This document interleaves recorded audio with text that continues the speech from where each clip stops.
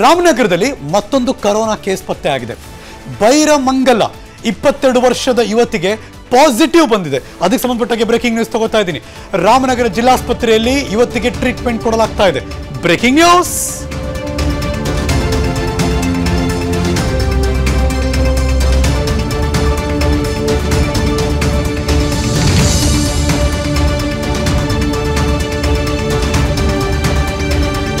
ರಾಮನಗರ, ಬೈರಮಂಗಲ ಇಪ್ಪತ್ತೆರಡು ವರ್ಷದ ಹೆಣ್ಮಗಳು ಆಕೆಗೀಗ ಟ್ರೀಟ್ಮೆಂಟ್ ಕೊಡ್ತಾ ಇದ್ದಾರೆ. ರಾಮನಗರದ ಜಿಲ್ಲಾಸ್ಪತ್ರೆಯಲ್ಲಿ ಇವತ್ತಿಗೆ ಟ್ರೀಟ್ಮೆಂಟ್ ಕೊಡ್ತಿದ್ದಾರೆ.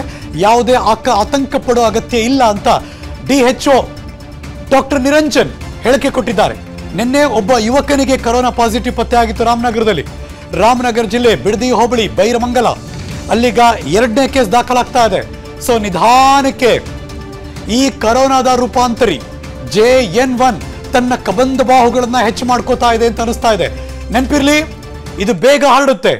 ಎಫೆಕ್ಟು ಕಡಿಮೆ ಆಗಿರ್ಬೋದು, ಆದರೆ ಹರಡುತ್ತಿದು ಸೊ ಹಾಗಾಗಿ ಕೇರ್ಫುಲ್ ಹುಷಾರಾಗಿರಿ. ನಾವು ನಾವು ಹುಷಾರಾಗಿರಬೇಕು ಬಿಕಾಸ್ ಬರೀ ನಮ್ಮ ಆರೋಗ್ಯ ಅಂತಲ್ಲ, ನಾವು ಆರೋಗ್ಯ, ನಮ್ಮ ಕುಟುಂಬದ ಆರೋಗ್ಯ ನಮ್ಮ ನಂಬ್ಕೊಂಡ್ರವ್ರ ಆರೋಗ್ಯ ಆಫೀಸಿನ ಆರೋಗ್ಯ, ಸಮಾಜದ ಆರೋಗ್ಯ, ಎಲ್ಲವೂ ಕೂಡ ಇರೋದ್ರಿಂದ ಪ್ರತಿಯೊಬ್ಬರೂ ಇನಿಷಿಯೇಟ್ ಮಾಡಬೇಕು. ಈ ಕರೋನಾ ತಡೆಗಟ್ಟುವಲ್ಲಿ ಜೆ ಎನ್ ಒನ್ ಅದು ರಾಮನಗರದಲ್ಲಿ ಎರಡನೇ ಕೇಸ್ ಪತ್ತೆಯಾಗಿದೆ. ಅಷ್ಟೊಂದು ದೊಡ್ಡ ಆತಂಕ ಪಡೋ ಅಗತ್ಯ ಇಲ್ಲ ಅಂತ ಡಿಸ್ಟ್ರಿಕ್ಟ್ ಹೆಲ್ತ್ ಆಫೀಸರ್ ಹೇಳ್ತಿದ್ದಾರೆ ಈ ಕ್ಷಣಕ್ಕೆ. ನಿರಂಜನ್ ಅವರು doctor Niranjan. But still alert ಇಡೀ ಸಮಾಜಕ್ಕೆ. ಇದು ಕರೋನಾ ರೂಪಾಂತರಿ ವೈರಸ್ ಜೆ ಎನ್ ಒನ್. ಅನುಕ್ಷಣದ ಸುದ್ದಿಗಳಿಗಾಗಿ Vistara news YouTube channel subscribe ಮಾಡಿ. ಹೊಸ ಸುದ್ದಿಗಳ ನೋಟಿಫಿಕೇಶನ್ಗಾಗಿ ಬೆಲ್ ಐಕಾನ್ ಕ್ಲಿಕ್ ಮಾಡಿ. Latest ಅಪ್ಡೇಟ್ಸ್ಗಾಗಿ W W W dot Vistara news dot com ವೆಬ್ಸೈಟ್ಗೆ ವಿಸಿಟ್ ಮಾಡಿ.